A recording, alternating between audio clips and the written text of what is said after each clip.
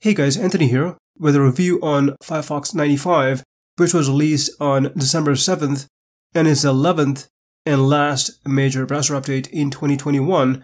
There were a few changes implemented in this new browser update, and I'll cover some of the key changes.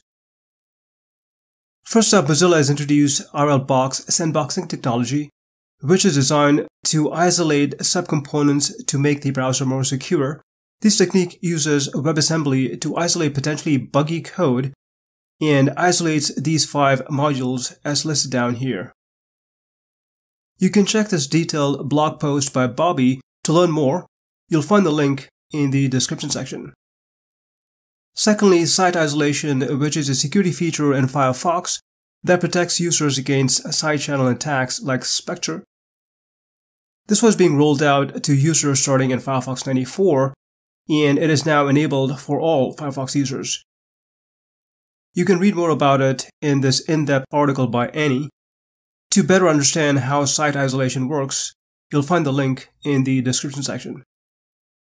Thirdly, an improvement to the picture-in-picture mode.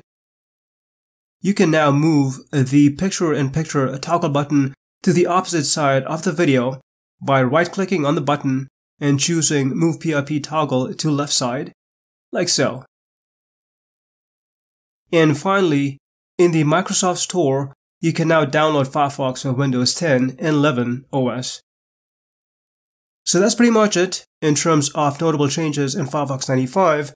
You can check the list of detailed changes in the release notes. You'll find the link in the description section. In terms of the BrowserMark benchmark test results, the overall performance of Firefox improved slightly compared to the earlier version, but Google Chrome continues to outperform. I would like to take this opportunity to wish you all a Merry Christmas and Happy Holidays. Until next time, thanks for watching.